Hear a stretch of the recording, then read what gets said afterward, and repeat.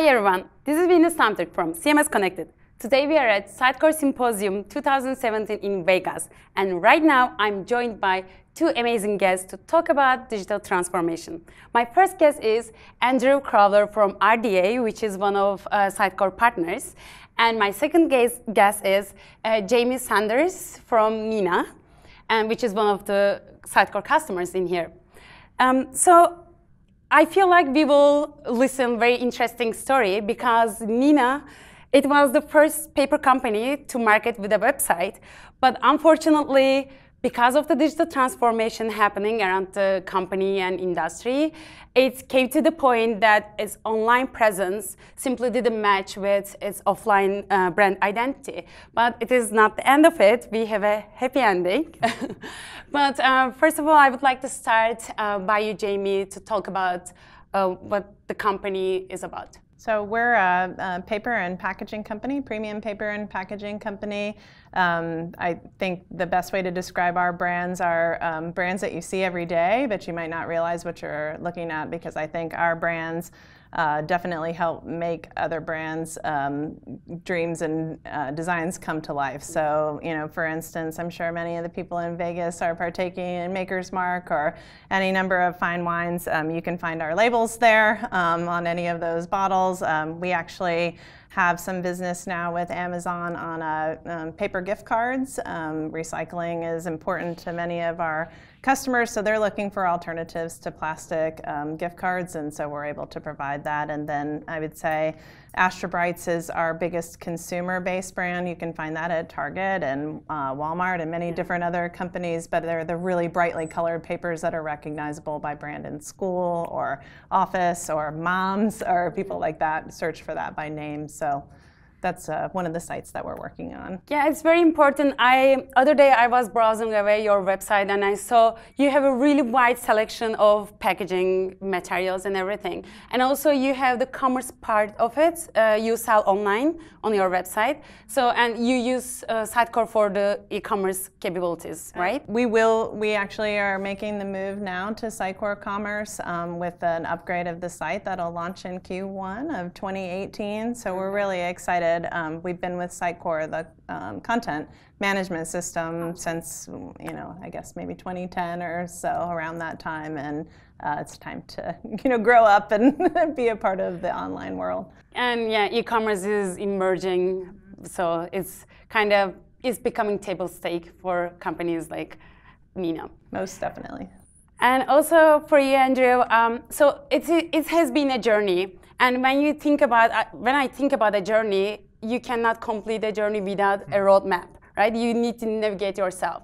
And it is exactly the same for this situation as well. So I would like to talk about a little bit about uh, digital roadmap.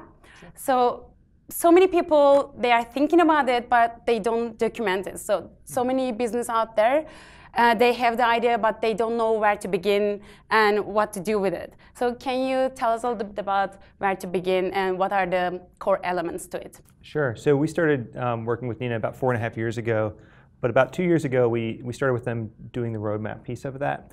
And for us, a roadmap really is about the big picture of it. So it's about understanding the organization and how they sell within the organization. So is marketing in charge of the sales channel for selling? But sales needs to interact with that as well. And customer service needs to be involved with that. So the roadmap is about understanding the whole vision of the company and how they sell and all the players and all of the different individuals and the roles that they play in selling. And then how they bring their products to market. Um, how do they make sure that that premium brand is reflected? How do they bring a simpler channel to allow customers to find their products more easily through that? and how do they align that overall vision with being able to deliver that functionality over the course of a period of time so that they can bring that initial piece to market very quickly and then kind of continue to enhance it and expand it over time. So that roadmap for us is really about that bigger picture, that bigger structure of what really makes sense for yeah, the organization. To navigate yourself, and it's so easy to lose your side, you know, lose your purpose. So it's always keeping you on track and you know what to do next.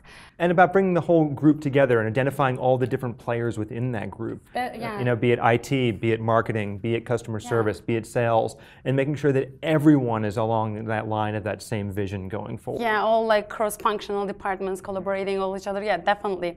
And so I know the project is still going on, but um, I'm also curious about um, the biggest challenge you guys face during this project and how Sitecore helped you to tackle it.